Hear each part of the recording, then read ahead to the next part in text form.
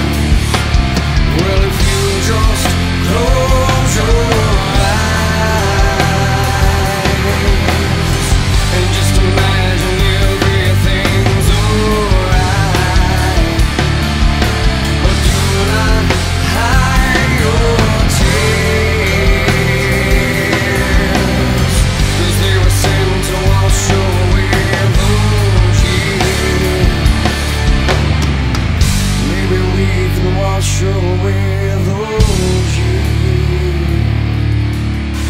I hope that you can wash away those